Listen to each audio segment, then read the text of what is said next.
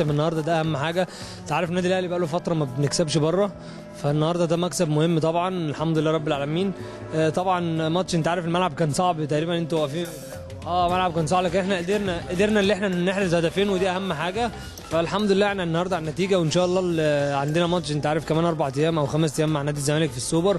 فده إن شاء الله تركيزنا كله على الماتش الجاي بإذن الله. هو مدير فني بصراحة ما بيتكلمش كتير يعني في المحاضرات يعني خمس ست دقائق المحاضرة تقريبا ومن المدربين القليلين اللي تلاقي حد بيعمل كده. أنت عارف إحنا عندنا تلاقي المحاضرة نص ساعة أو ساعة إلا ربع.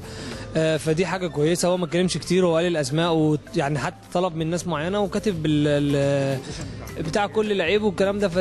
وخلص الكلام بس. فهو بصراحة لما جه يكلمني كان عايز أنا أستلم بحرية ألعب أنت عارف أنا بلعب 8 النهارده مش بلعب 10 عشان برضو الناس تبقى عارفة لأن أنا النهارده مش بلعب 10 إحنا بنلعب 4 3 3 لكن الكورة معانا ببقى عندي الحرية أكتر إن أنا أتحرك.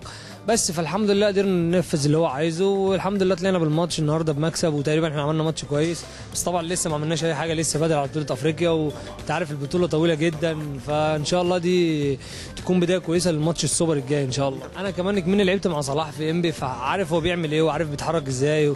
فحتى أنا تقريبا أنا ماسك الكرة لمسه واللعبه الثانية رحت عامل كروس أنا لمحته حتى ما رضيتش ألعبها عاليه يعني هي أسهل على الأرض لأن عاليه كان ممكن الجون يطلع.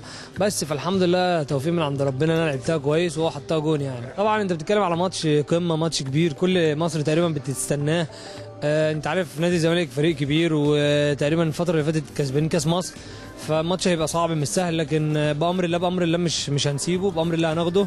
يعني مش عايز أقول وعد والحاجات دي كلها لكن إحنا هنعمل اللي علينا اقصى جهد ما قدام اللعيبة كلها عشان ناخد البطولة دي إن شاء الله. فإن شاء الله البطولة تبقى بتاعتنا بإذن الله.